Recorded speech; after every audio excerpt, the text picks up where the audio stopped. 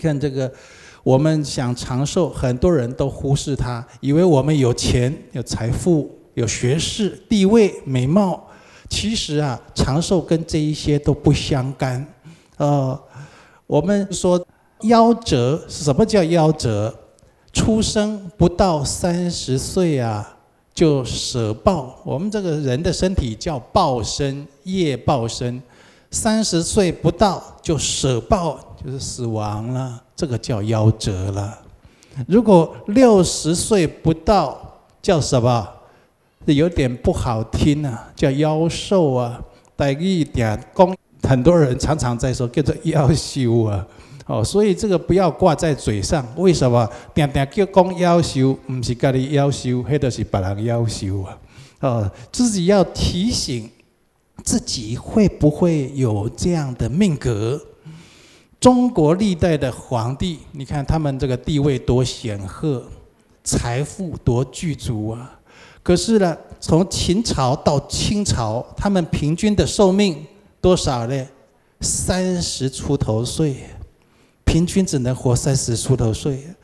世界知名的武术家李小龙啊，这个是我。国中、高中的偶像，我这个房间里都贴他的照片，一直到后来，人家跟我讲啊，你迄房间内底吼，人拢带一挂死人的相片啊，我才去想到迄个对吼，已经死去啊。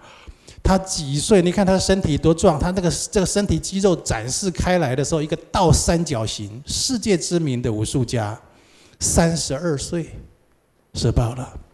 所以说，有在健身。哦，身体很强壮，武术家那都不一定会长寿啊。地位显赫、有钱也不一定会长寿。人称高富帅的高以翔先生，十一天前很遗憾的哦，在中国大陆他就舍报了哦，这个是猝死啊。他是一位哦一百九十三公分的一个俊男呢。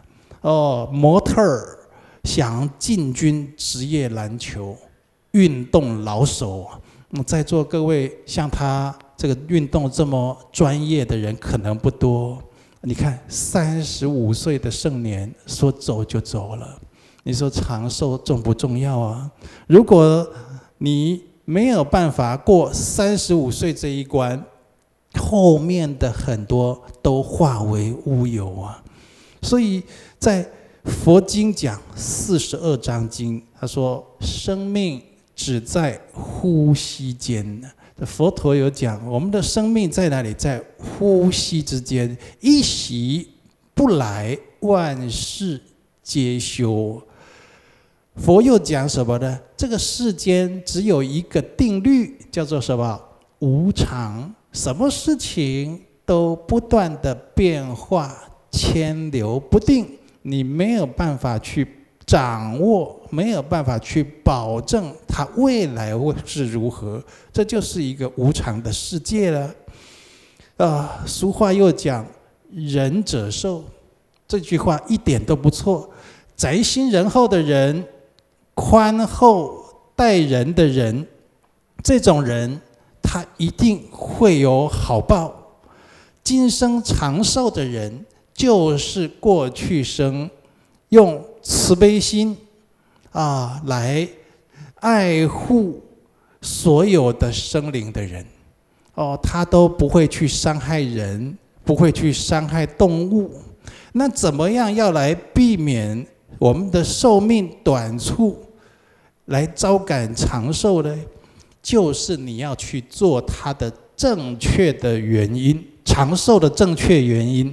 大家要注意听，就是用慈悲心来戒杀护生啊，用慈悲心来戒杀护生，这是长寿的正因，不是吃补品，不是一直运动保养。为什么？